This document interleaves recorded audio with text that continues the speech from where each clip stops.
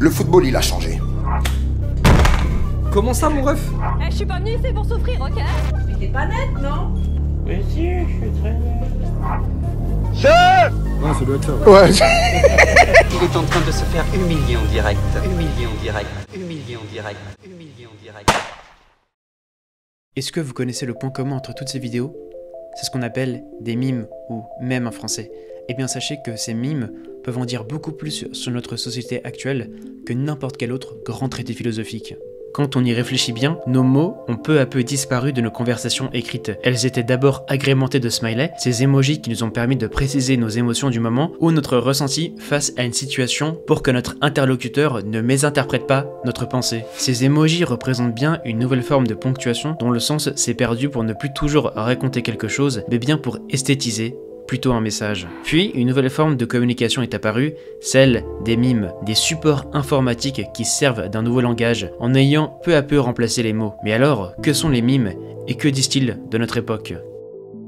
Prenons le point de départ des mimes avec l'arrivée d'Internet et en 1996 le premier mime viral qui s'appellera The Dancing Baby ou Baby Chacha dans d'autres pays. En effet, donc ce fichier en question qui va être repartagé et qui va devenir un premier mime, c'est un fichier GIF ou GIF selon comment vous voulez l'appeler. Alors un fichier GIF ou GIF, c'est un fichier qui comporte une très courte animation qui fait entre 12 et 30 images par seconde. Ce GIF proposait de découvrir un bébé au style de la danse Cha-Cha, d'où son nom, le tout comme un adulte. Outre le caractère amusant de ce fichier GIF, c'est sa prouesse technique à l'époque qui engage son auditoire à être hypnotisé par son animation et donc à vouloir faire part de cette découverte à ses pairs. Derrière cette création, le duo d'étudiants américains de l'université de l'Ohio, Michael Girard et John Chadwick, mais aussi la personne de Susan Amcloud, avaient voulu grâce à cette création promouvoir le lancement de leur société d'animation. Un coup de communication on ne peut plus réussi puisque The Dancing Baby reste aujourd'hui toujours considéré comme le premier mime originel et informatique. Il a été repris dans la série à l'époque appelée Ali McBeal, très populaire, mais c'est surtout grâce au lycéen Rob Sheridan qui a intégré le fichier à son site afin que tout le monde puisse le télécharger et le transformer à sa guise, qui a donc permis au fichier d'être repartagé, décliné et de noyer tous les forums et sites internet. Cependant, les mimes peuvent prendre des formes très variées. On a vu dans ma dernière vidéo que un mime, ça pouvait être un son, euh, par exemple avec le Blood Irony, qui sont des vidéos qui reprennent des sons cacophoniques du créateur de contenu euh, Don Poyo. Mais ça peut être aussi des gifs comme on l'a vu, mais aussi des vidéos, et ça on le verra un petit peu plus tard. Mais quand on pense aux mimes, c'est plutôt les mimes images auxquels on pense, qui sont les plus connus et les plus anciens. On pourrait citer les premiers mimes images, ceux qui rentrent dans la très ancienne catégorie des Rage Comics avec les personnages comme Derp ou Trollface. Ces deux personnages sont des personnages propres à internet qui permettent de raconter des histoires sur le ton de l'humour en prenant la forme des strip comics américains qui, avec quelques cases uniquement, vous permettent de vous divertir et de rigoler. Ces personnages sont surtout des icônes de la moquerie sur internet. Le Trollface caractérise en anglais littéralement l'expression supposée de quelqu'un derrière son ordinateur ou son écran qui a un large sourire face à la rage et qu'expriment ses interlocuteurs après les avoir sciemment agacés. Des mimes Rage Comics, les images mimes ont évolué avec les stock memes qui sont encore plus populaires. Les stock memes sont les images virales d'internet qui ont détourné des photos stock, c'est-à-dire des photos non libres de droit qu'il faudrait normalement payer pour utiliser pour illustrer un site web ou une vidéo par exemple. Il convient ici de citer évidemment l'image Distracted Boyfriend qui représente un jeune homme accompagné de sa copine qui admire le postérieur d'une autre femme qui vient de dépasser le couple. Il n'en fallait pas plus à internet pour détourner l'image et lui donner des millions de scénarios variés qui suivent toujours le rythme de l'image. Ici, se détourner d'une situation dans laquelle nous sommes engagés, comme ici, quelqu'un qui joue au jeu Fortnite et se tourne vers un autre jeu qui l'intrigue, Among Us. Il faut que nous parlions également de la Disaster Girl, une photo prise au bon moment où nous pouvons observer une petite fille tournée vers la caméra, le sourire en coin et les yeux qui transpirent le machiavélisme, comme si elle nous communiquait à travers son regard qu'elle était secrètement responsable derrière le drame qui se déroule en fond de cette toile digitale, l'incendie d'une maison pavillonnaire américaine. Il suffit encore une fois d'ajouter du texte à cette image et de lui faire dire n'importe quoi pour faire rire une grande communauté de personnes, comme il fut un temps où il y avait une araignée, puis ce n'est plus près d'arriver. Il existe des dizaines de milliers de mimes comme ceux que je vous ai présentés. Si les mimes étaient d'abord déclinés pour une large audience avec des situations universelles, les mimes sont aujourd'hui déclinés pour les plus petites communautés comme des mimes pour des gens passionnés de pêche par exemple, jusqu'à la gentille taquinerie au sein d'un groupe d'amis. Personne et tout le monde à la fois décide si une image, un son ou une vidéo deviendra une icône d'internet. Tout dépend du contenu du fichier. Le célèbre mime Angry German Kid, présentant une parodie d'un enfant allemand s'énervant contre son ordinateur, a fait le tour du monde et lui a valu de nombreux harcèlements toute sa vie alors qu'il jouait un simple rôle pour faire rire les gens. À ce sujet, je vous recommande la très bonne vidéo de la chaîne de Paul, mais j'ai l'impression qu'il y a autant de mauvaises histoires que de bonnes histoires, si ce n'est plus d'ailleurs. Par exemple, la jeune fille derrière le mime de Disaster Girl est aujourd'hui une fille qui approche les 24 ans, qui a réussi à vendre son propre mime en NFT pour 500 000 dollars. Il faut cependant noter qu'une fois que vous appartenez Internet, vous ne pouvez plus y faire grand chose. Vous serez alors susceptible d'être utilisé pour des montages plus que douteux, comme l'explique Zoé sur l'utilisation de son mime pour des images de rassemblements nazis, donc la seule ombre au tableau qui la met mal à l'aise. That or it, but I also know I can't really do anything about it, so I don't let it get to me. Ainsi, les mimes sont aussi infinis que l'imagination de ses utilisateurs. D'ailleurs, le terme mime colle parfaitement à sa fonction. En 1976, Richard Dawkins, qui est un biologiste et théoricien de l'évolution, a écrit un ouvrage dans lequel il parlait des produits culturels comme des euh, gènes en fait qui seraient mus par une volonté de se reproduire. effectivement, aujourd'hui, c'est un terme qui est plutôt approprié parce qu'on a beaucoup de produits culturels en constante augmentation, avec des formes très variées comme on l'a vu, et aussi des tons d'humour bien différents. Mais les mimes donc ne datent pas forcément d'Internet, ils sont peut-être plus anciens. Par exemple, déjà dans les années 80, pour se moquer des stations de radio lorsque l'on interviewait des auditeurs, certains se mettaient à jouer la musique Never Gonna Give You Up de Rick Astley, et c'est toujours ce que certains de mes amis me font lorsque je leur demande de m'envoyer un lien vers une vidéo que je recherche. Ils m'envoient le lien du clip de la musique, mais l'équivalent actuel de ce trolling serait le renvoi vers la musique Sandstorm du groupe finnois Darude. Lorsqu'un internaute demande la musique qu'il écoute et qu'il aimerait connaître pour la réécouter plus tard, on pourrait très bien qualifier ces comportements de moquerie ou trolling comme des mimes avant l'heure. En bref, si les mimes sont des sortes d'organismes vivants qui se reproduisent à une vitesse fulgurante, il ne faut pas oublier que comme l'exprimait le professeur Xavier dans X-Men, lorsqu'une nouvelle espèce coexiste avec une autre dans un environnement, une des deux est vouée à disparaître. Ici, ce sont les mots et notre langue qui sont menacés.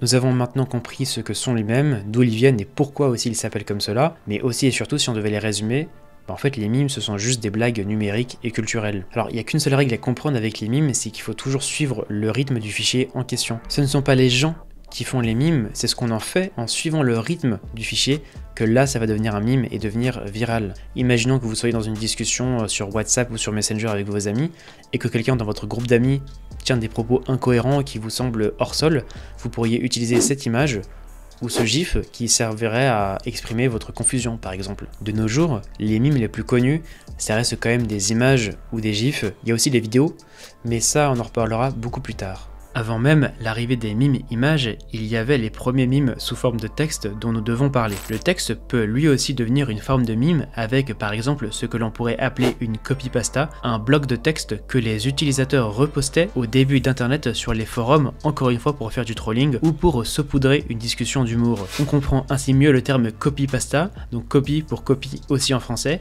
et pasta terme argotique qui se rapproche de paste comme coller, de copier-coller en anglais. Nous avons nos références françaises en la matière avec la très célèbre copypasta Sérieusement, moi puceau que toutes les personnes de ma génération connaissent. Alors un internaute avait voulu se défendre face à un autre internaute qui le traitait donc de puceau, ce à quoi il répondit par un bloc de texte désastreusement gênant, tentant de prouver de la pire des manières qu'il n'était pas ce qu'on lui reprochait d'être. Le mime a encore gagné en popularité avec la réinterprétation de ce texte par le créateur de contenu Melkor, alias Jean Apostole qui fonctionne très bien. Ce data ingénieur colle parfaitement avec ce rôle, et en plus de cela, il reproduit à merveille les intonations et les ponctuations du texte. Nous pourrions enfin citer la copypasta Je pense battre un gorille à main nue, sur lequel un internaute du nom de Chap Gomuscu nous racontait de façon très sérieuse et scientifique hein, qu'il pensait pouvoir rivaliser avec la bête en pérorant sur ses capacités physiques, mais visiblement pas intellectuelles. On pense évidemment que c'est du troll, mais c'est resté dans l'univers de la génération Z. Aujourd'hui, ces deux copypastas sont détournés pour n'importe quelle situation pour amuser la galerie, pour la sphère professionnelle ou amicale entre autres. Vous l'aurez compris, les mimes ont une énorme valeur sociale et permettent aussi de communiquer de façon très simple, voire trop simple, parce que par exemple il y a deux ans, pour commenter ce que disait quelqu'un sur internet, il y avait une mode qui consistait à répondre palu plus ratio, que vous devez sûrement connaître. Et bien en fait, ça, c'était sur, euh, sur X, donc anciennement Twitter et Facebook, les gens commentaient donc palu plus ratio sous une discussion lorsqu'ils n'étaient pas d'accord avec quelqu'un. Et c'est pas forcément très fin, et on va voir pourquoi. Cette méthode de réponse permet de discréditer automatiquement la personne en face de vous. En effet, lorsque quelqu'un crée un thread, c'est-à-dire un fil de discussion ou un long post avec un gros bloc de texte, en répondant palu plus ratio, cela permet de montrer que vous n'avez généralement pas lu la plainte de la personne et que vous vous moquez d'elle en lui faisant comprendre que personne ne s'intéresse à son opinion ou à sa plainte. Le terme ratio évoqué fait référence à lorsqu'une réponse à un post obtient plus de likes que le post originel. Aujourd'hui, la tendance est quelque peu démodée, vous ne verrez pas autant de likes sous un message avec écrit pas lu plus ratio, mais cela montre que les gens ne souhaitent plus essayer de réfléchir à la plainte ou euh, la critique soulevée par un autre internaute et permet de le tourner en dérision pour espérer avoir une popularité très éphémère à l'aide, je le rappelle, d'une sorte d'argument implacable pour gagner un argument sans lâcher une seule phrase construite. Il y a parfois même des mimes qui sont utilisés dans ce sens pour soutenir un argumentaire et tenter de prouver qu'ils ont raison sur internet grâce à de la musique. Nous avons déjà traité ce thème sur ma chaîne YouTube, donc à savoir que la funk est une musique ultra violente et qui recherche des effets de domination, et à travers cette domination et cette violence, on essaie de dresser un portrait épique de quelque chose ou de quelqu'un pour le rendre cool et intéressant. Donc la funk c'est pas vraiment un mime, c'est plutôt le funk troll qui lui pour le coup est vraiment un mime et qui recherche les mêmes effets de domination et de valorisation à travers la violence que je viens de décrire pour la funk. Pour conclure ce chapitre, les mimes font partie intégrante de la culture des jeunes et sont aujourd'hui récupérés un petit peu partout par des personnes plus âgées, notamment dans les organisations pour faire soit la promotion d'un parti politique tout en se moquant parfois de l'autre camp, ou plutôt pour soutenir une cause, un engagement par exemple. Un mime peut être utilisé pour n'importe quoi, il est aujourd'hui une très bonne tactique marketing pour faire de la communication en ligne, mis à part peut-être la promotion d'un produit ou d'un service par une entreprise. Cela est perçu comme une récupération bureaucratique, souvent mal vue par les principaux concernés, par les jeunes qui ont moins de 35 ans environ, qui voient cela comme une réappropriation hasardeuse et gênante, exactement comme un enfant qui ferait la grimace face à un parent qui ferait irruption dans sa chambre et dirait alors les Jones, puis enchaînerait sur une phrase ou une question quelconque. Cette situation que tout le monde a déjà vécue ou que tout le monde entend, je pense, illustre parfaitement le décalage entre deux générations. Le parent qui essaye d'intégrer la discussion et l'espace de l'autre génération en tentant de s'approprier les codes de la jeunesse maladroitement, sans y parvenir, ce qui ne crée que gêne et maladresse pour les jeunes interlocuteurs. C'est exactement la même chose avec la communication des entreprises qui utilisent les mimes en visant les jeunes générations. C'est souvent perçu comme une action gênante qui n'est pas socialement autorisée par les jeunes. Cependant, les mimes ne sont pas uniquement des blagues sur internet, ce sont aussi des produits transculturels et dans certains cas, des produits transmédia. Nous avons parlé de beaucoup de formes de mimes, mais je voulais finir en parlant des vidéos. Aujourd'hui, de nombreux mimes naissent tous les jours, notamment en France, où grâce à l'actualité ou l'actualité des réseaux sociaux et les tendances sur ces réseaux, qui grâce à l'ère de la vidéo permettent de faire apparaître des milliers de vidéos qui sont aujourd'hui considérées comme des mimes. De nombreux comptes sur les réseaux sociaux ripostent, donc repostent des vidéos connues, donc des mimes vidéo, pour nous rappeler un moment d'internet. Ces vidéos sont souvent appelées références, suivies d'un numéro, pour les classer. On pourrait facilement parler de cette scène très drôle dans laquelle un client d'un service de VTC tente de s'adresser à son chauffeur à maintes reprises en l'appelant chef, sans que celui-ci ne l'entende ou fasse semblant de l'entendre, jusqu'à devoir hurler pour se faire entendre à la fin de la vidéo qui se coupe au bon moment, ne faisant que renforcer le comique de situation. Je ne vais pas faire état des tonnes de vidéos qui sont devenues des mimes, puisque comme nous l'avons vu, tout peut devenir un mime. Il suffit qu'un extrait d'une situation de la vraie vie, ou d'un film, ou d'un jeu vidéo, pour ne se limiter qu'à quelques médiums, ne devienne viral et devienne donc un nouveau mime, qui sera partagé des milliers de fois. Par exemple, le film Spider-Man 3 a de nombreuses scènes qui sont devenues des mimes, et on a pu observer que lors de la rediffusion des années plus tard de ce film, alors que certaines de ces scènes cruciales du film sont plutôt dramatiques, alors qu'elles sont devenues entre-temps des mimes, le public est tellement habitué à l'utilisation de ces scènes pour des ressorts comiques qu'il riait plutôt que de vivre la situation dramatique en question.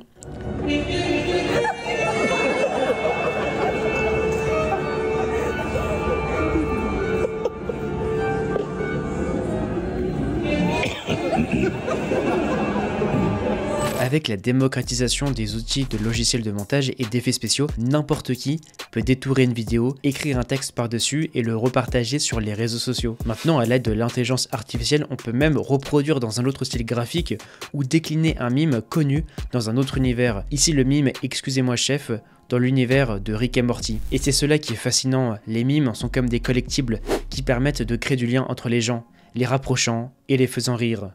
Alors, plus vous connaissez de mimes, ouais, je sais, j'ai changé d'apparence, j'avais oublié quelques trucs, bref, on s'en fout. Plus vous connaissez de mimes, plus vous pourrez comprendre ce qu'il se déroule sur internet et en faire référence dans la vraie vie. En fait, les mimes, c'est comme des Pokémon, donc ce sont des collectibles, qui sont ce qu'on pourrait appeler des références. Le mime en lui-même est à la fois une situation drôle, donc une blague digitale, mais c'est aussi, on l'a vu, maintenant un produit culturel. On pourrait même parler de produit transculturel, enfin, plutôt transmédia, c'est-à-dire un produit culturel qui est décliné dans d'autres médiums. Par exemple, le mime Excusez-moi chef qu'on vient de voir, décliné dans l'univers de Rick et Morty. Les mimes sont particulièrement utilisés pour les créateurs de contenu comique qui vont donc utiliser, je sais pas, un son, une image ou une vidéo pour faire référence à une œuvre culturelle, donc un mime en particulier, et qui va permettre de créer du lien et d'appartenir à un groupe pour les gens qui sont dans l'audience et qui visionnent le contenu en question. Et donc là, l'intérêt d'un mime, c'est donc d'appartenir au groupe plutôt fermé, généralement des gens qui ont la référence et qui sont tous liés par un secret plus ou moins bien gardé. Nous venons également de parler de transculture, dont la définition se définit comme relatif aux influences réciproques entre plusieurs cultures. Les mimes sont devenus transculturels justement, et pour donner un exemple de ce concept, nous pourrions parler de la célèbre scène du Akira Bike, qui a vu sa scène empruntée dans des tonnes d'autres films ou animations, et est devenu un clin d'œil, c'est ce qu'on appelle en fait une référence. C'est quelque chose que l'on découvre sur internet, mais cela a toujours existé, que ce soit le célèbre Abbey Road Walk des Beatles, qui a influencé de nombreuses dérives créatives et culturelles. Kilroy Was Here est peut-être un exemple de transculture mondialement connue qui est né pendant la Seconde Guerre mondiale, durant laquelle un inspecteur des navires de guerre de la marine américaine dessinait sur ses navires de guerre un personnage très simple avec les mots Kilroy Was Here, ce qui a permis d'égayer les soldats américains et de créer un mythe autour du personnage fictif de se demander mais qui a créé Kilroy et pourquoi? C'est d'ailleurs la première blague virale avant même Never Gonna Give You Up de Rick Astley. Kilroy, qui a pu être facilement reproduit vu la simplicité de ses lignes, et est devenu une des premières références culturelles mondiales des 80 dernières années, qui pourrait rentrer dans la définition de la transculture ayant impacté le cinéma américain dans les évadés et ayant eu une reproduction explicite ou cachée dans des dizaines d'œuvres mondialement connues et reproduits et déclinés des millions de fois. Les mimes sont donc des produits transculturels et parfois trans médias qui sont universels et traversent la barrière des langues et permettent de connecter les gens. Pour terminer ce chapitre et avant de conclure, je tenais à dire qu'effectivement si les mimes donc, sont donc très riches et, qu'ils ont une condition intrinsèque infinie, je trouve qu'aujourd'hui ils ont perdu en qualité. Aujourd'hui il suffit de prendre une vidéo banale ou une image quelconque et de lui accoler une légende ou un texte et s'il y a un potentiel mimesque ou à devenir une référence, bah alors là effectivement ça deviendra viral et ça deviendra donc un vrai mime. S'il y a indéniablement du positif dans tout cela parce que ça permet aux gens de créer son propre cercle d'humour et donc d'être dans un groupe où les gens se ressemblent et qui passent du bon temps ensemble, je trouve quand même qu'il y a malheureusement un appauvrissement créatif. Mais outre mon avis personnel, Maintenant, on va pouvoir donc répondre à la question qu'on s'était posée en début de cette vidéo, à savoir euh, si les mimes nous rendent plus bêtes ou pas. Mais pour répondre à cette question, il faut d'abord qu'on essaye de comprendre si montrer plutôt que de parler c'est une forme de bêtise ou peut-être plutôt une forme d'intelligence évoluée. Aujourd'hui, comme nous le savons, nous communiquons toujours avec des mots, mais les mimes deviennent de plus en plus invasifs. D'ailleurs, il est devenu courant d'avoir des conversations avec des amis uniquement composées de mimes, des envois de vidéos drôles que l'on partage à ses amis en message privé. Le mime est devenu le nouveau Salut, ça va? On parle plus autant qu'auparavant, on se contente d'envoyer un reel sur Instagram ou un TikTok sur TikTok pour rigoler ensemble de quelque chose ou pour se moquer ou mépriser une situation risible, et ça s'arrête souvent là. La discussion ici par exemple entre deux personnes ne contient aucun message si ce n'est le partage de mimes, donc de blagues numériques, des blagues d'internet. Mais est-ce une forme de bêtise de montrer plutôt que de parler? Eh bien, pour répondre à cette question, on peut regarder un petit peu en arrière, voire très longtemps en arrière. Lorsque le premier langage a été écrit par les Sumériens, on remarque qu'avant, ils utilisaient un langage fait de symboles, et c'est pareil pour les Égyptiens qui utilisaient un langage fait de symboles, qui sont les hiéroglyphes, qui sont des sortes de petits dessins quand même. Et encore plus loin, si on remonte il y a 20 000 ans avec les premiers hommes, eh bien, ils peignaient dans les grottes de Lascaux. Maintenant, la question à se poser, c'est est-ce que lorsque nous montrons plutôt que nous parlons actuellement, est-ce que c'est une forme de régression et est-ce qu'on ne reviendrait pas plusieurs milliers d'années en arrière? Alors il y a deux manières de voir les choses, mais la première manière, qui serait plutôt d'ailleurs intéressante, ce serait de considérer qu'au contraire, ça pourrait être une forme d'avancée technologique et linguistique. C'est ce que l'on retrouve dans les films de science-fiction où les aliens ne sont pas doués de parole, ils ont souvent plutôt un pouvoir télépathique lié à leur évolution ou parfois simplement leur organisme, ce qui leur permet de gagner du temps, d'être plus efficaces et de pouvoir joindre un semblable peu importe la distance, ce qui semble effectivement donner un avantage crucial dans une guerre civilisationnelle plutôt que de devoir communiquer oralement comme des primates. Ou alors, certains aliens montrent et écrivent au lieu de parler. C'est la pensée explorée par le très bon film Premier Contact de Denis Villeneuve, oui, celui qui a aussi réalisé les films de Dune récemment, où des extraterrestres arrivent sur Terre, incapables de communiquer verbalement, ils peuvent communiquer de façon écrite en projetant sur la paroi de leur vaisseau de l'encre. L'héroïne du film, une des meilleures linguistes du monde, parviendra à déchiffrer la langue très spéciale des aliens qui est composée de glyphes en un cercle dont chacun des glyphes dépend des autres. Elle comprendra alors que le langage des aliens n'est pas soumis au temps et s'exprime pour toutes les époques, ce qui lui permettra de voir le futur et de voir sa future petite fille. Ce film décrit l'hypothèse de Sapir-Whorf qui dit que la langue que nous apprenons façonne chacun à notre manière notre cerveau et donc la représentation que nous avons du monde. Pour les gamers, sachez que le langage du film Premier Contact a probablement inspiré le langage du célèbre jeu Outer Wilds. Alors pour revenir à notre sujet, il est possible par contre que le fait de montrer plutôt que de parler se soit vécu effectivement comme une régression, parce qu'en fait le savoir c'est une arme, et donc quand on est moins armé, bah, ça se voit tout de suite. Et justement à ce propos, quand on regarde les interviews des archives de l'INA aux interviews actuelles, on voit qu'il y a un vrai décalage. Il y a un vrai problème. Parfois même j'ai l'impression que quand je regarde des interviews de l'INA que les gens s'expriment de façon soutenue, alors que pas du tout, c'est juste qu'ils s'expriment avec beaucoup plus de vocabulaire et plus d'éloquence. Et aujourd'hui, les interviews sont. Les gens s'expriment plutôt dans un registre beaucoup plus familier ou pauvre. Donc, nous le disions, le savoir est une arme. C'est très important de savoir bien s'exprimer ou d'avoir un minimum de vocabulaire, ne serait-ce que pour exprimer ses mots, sans mauvais jeu de mots. Euh, c'est juste aussi très important pour pouvoir se faire comprendre, pour pouvoir se défendre, gagner une joute verbale. Enfin, c'est hyper important de savoir bien parler, ou en tout cas d'avoir, euh, oui, d'avoir un petit peu d'éloquence et d'avoir un vocabulaire enrichi de nos jours. Je n'arrive pas à imaginer le niveau de frustration que tu dois ressentir quand t'as que trois mots de vocabulaire, ça doit être vraiment compliqué. Tu peux pas t'aider toi-même dans une situation d'urgence, euh, tu peux pas te faire comprendre, euh, c'est horrible. C'est sûrement ce que vivent les personnes issues des banlieues, et particulièrement des cités. C'est ce qu'explique l'écrivain et essayiste François Bégodeau dans son livre Entre les murs, qui raconte son expérience comme professeur de français dans un collège en difficulté du 13e arrondissement de Paris, dans lequel la quasi-intégralité des élèves non seulement ne veulent pas apprendre, mais selon Bégodeau et la critique de son livre, ne peuvent apprendre. Le livre reprend la théorie bourdieusienne, selon laquelle l'école favoriserait ceux qui sont déjà favorisés, en clair ceux qui sont bourgeois, et le reste, puisque l'école privilégie, sans le faire exprès, ceux ayant un capital socioculturel plus riche que les autres classes, donc les classes moyennes ou les classes populaires. Le livre démontre la vacuité de l'esprit des élèves qui ne parlent évidemment pas très bien français, bien qu'ils soient nés en France, mais l'auteur ne les blâme pas, parce qu'il sait qu'ils sont conditionnés à ne pas pouvoir se rendre compte qu'ils sont prisonniers d'une situation dans laquelle ils pourraient sortir s'ils le souhaitaient, et s'ils s'en rendaient compte, mais ce n'est pas le cas. Une prison invisible, la prison parfaite. Aujourd'hui, nombreux sont les francophones à plaindre ces jeunes dans les commentaires sur les vidéos des réseaux sociaux qui dénoncent l'utilisation plutôt de certains mots récurrents comme une ponctuation comme par exemple Wallah ou Wesh qui servent d'adjectifs, de noms communs ou encore d'adverbes, à défaut d'avoir un vocabulaire élargi. Pourtant, si l'on devait pousser la réflexion encore un peu plus loin, ce qui est étrange, c'est que la cité, comme on l'entend aujourd'hui, c'est le milieu duquel provient la musique la plus écoutée depuis une bonne décennie, celle du rap. C'est le genre de musique qui utilise le plus de mots à la minute, contrairement au rock ou à la musique électronique, comme l'expliquait la chaîne du règlement dans sa vidéo 4 pires clichés sur le rap. Il faut en revanche effectivement prendre des pincettes et vérifier si cela rend les musiques plus intelligibles, plus intelligentes. On peut très bien utiliser beaucoup de mots sans que cela n'ait aucun sens, et ça, Mr V nous l'avait bien fait comprendre. La syntaxe juste à poser dans la justesse de constitution. Rhétorique asymétrique envisageant un futur contrariant la pulpe de ma justesse. Or, pour vous donner mon avis, j'ai tendance à penser que le rap français ne s'est pas forcément bonifié et qu'il était du moins plus intellectuel il y a 30 ans. À ce sujet, je pense faire une analyse complète du cas du rap français dans une prochaine vidéo, podcast. Cependant, une des raisons à ce manque de vocabulaire chez les jeunes, c'est tout simplement le manque de la lecture. Et quand je parle de lecture, je parle évidemment des romans mais voire plutôt la littérature et la philosophie, qui sont des lectures intellectuelles. La lecture de ces livres en question, elle a énormément reculé quand on regarde les statistiques en question. Or, la lecture de ces livres vous octroie une plasticité cérébrale très importante qui peut vous aider à vous cultiver, à enrichir votre vocabulaire ou simplement à prendre soin de votre cerveau. Et cet appauvrissement linguistique, c'est encore pire chez les jeunes de cité, comme l'expliquait François Bégodeau dans son livre Entre les murs, qui reprend donc la théorie bourdieusienne. Mais la question qu'on peut se poser à présent, c'est est-ce que cet appauvrissement linguistique fait de nos jeunes des abrutis finis.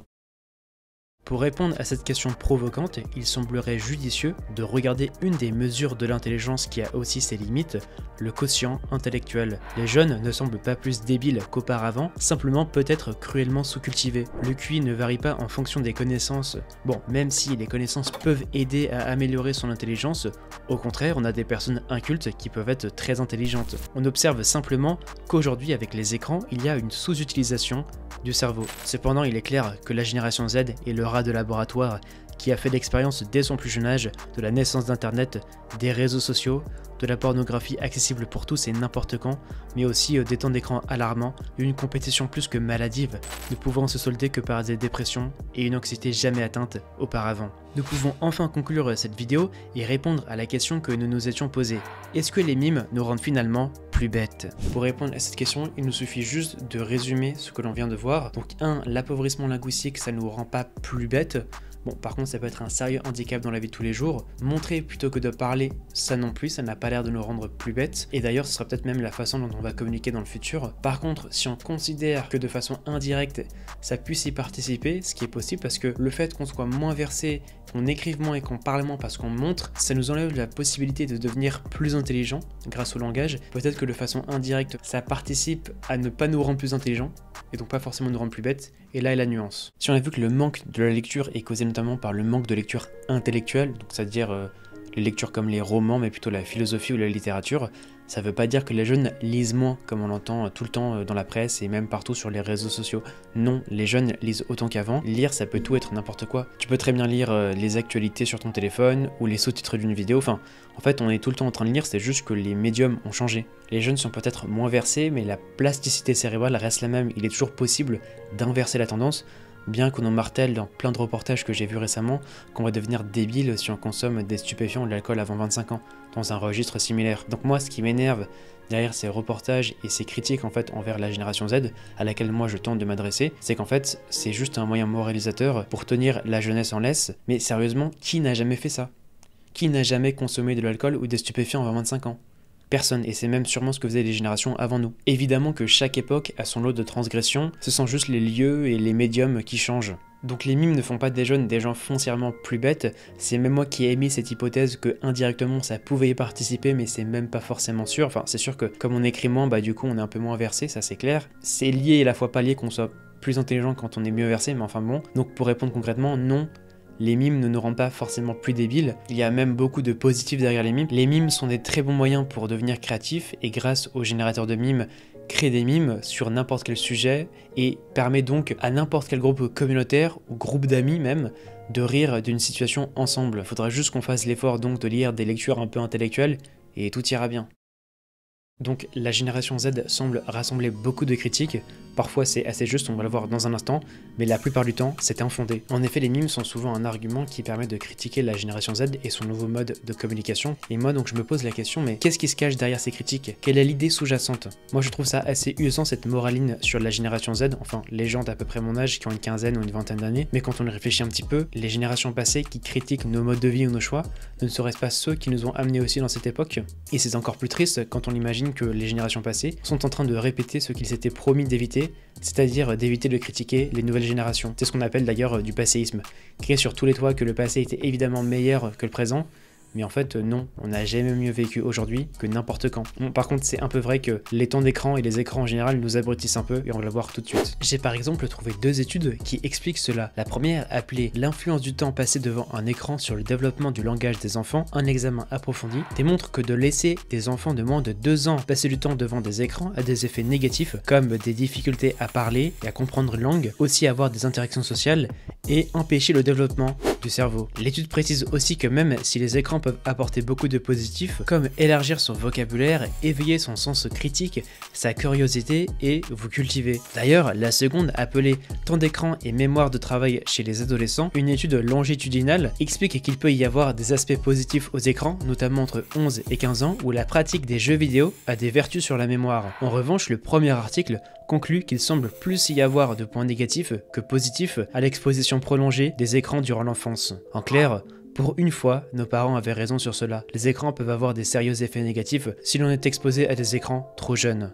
Pour conclure cette vidéo, donc la génération Z, enfin les jeunes, ont un nouveau langage à leur actif qui leur permet de trouver leur propre place dans ce monde, mais aussi un moyen de littéralement repenser la communication dans son ensemble à travers le monde. Les jeunes ont plein d'idées et de talents, oui ils sont un petit peu accros à leur écran, mais les plus vieux ne l'étaient-ils pas avec leur télé? Faisons confiance à la jeunesse. Elle est bourrée de talent, elle est là où elle est, là où elle doit être, avec les qualités et les défauts de son époque. Il y a beaucoup de bons et beaucoup de mauvais. Tenons-nous juste un petit peu à l'écart des écrans et tout ira pour le mieux. Comme toujours, merci d'avoir regardé cette vidéo. Je tenais aussi à remercier l'abonné Blaze Fishy qui m'a donné son ressenti sur la chaîne grâce au Discord que je vous mets en description et qui m'a permis aussi de trouver ce sujet de vidéo. Donc encore une fois, merci à lui. Euh, je vous invite également à venir rejoindre mes réseaux sociaux pour ne louper aucune actualité. Et puis pour les plus fous d'entre vous, je vous mets mon Patreon en bas de la description qui vous permettrait peut-être de financer mes vidéos puisque je fais tout ça depuis près de 4 ans sans gagner le moindre sou. N'oubliez pas de vous abonner, euh, de liker, de commenter. Euh, ces trois actions sont indispensables si vous voulez vraiment m'aider à développer la chaîne. Merci beaucoup et à très vite. C'était Ken Kazma.